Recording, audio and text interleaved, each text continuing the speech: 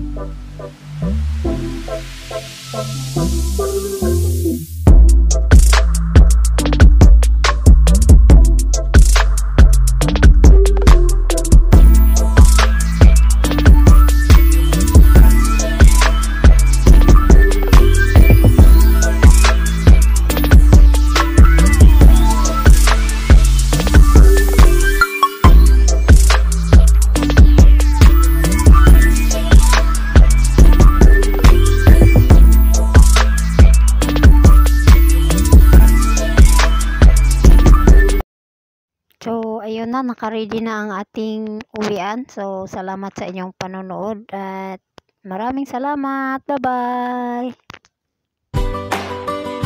Knits Life TV. Like, share, and subscribe now.